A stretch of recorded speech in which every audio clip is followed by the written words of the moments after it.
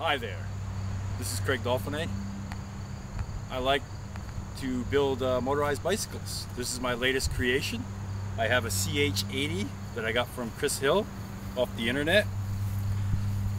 And I also purchased a jack shaft kit from sickbikes.com. It works pretty well. As you can see, it's a pretty nice looking mountain bike that I'm, I'm pretty proud of it and it goes pretty good. Okay, I'm going to start it up for you. As you can see, it starts pretty good. One pull. Now, if you watch back here, I'll shift the, I'll go through the gears. You know it's going down? And I can do this while I'm going down the road also slick, huh?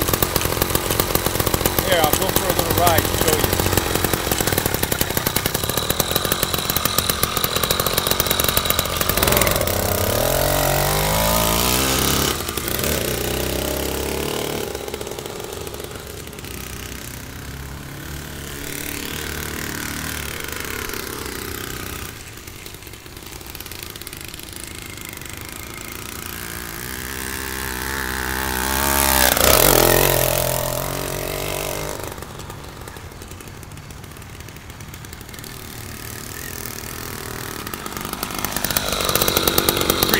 Huh?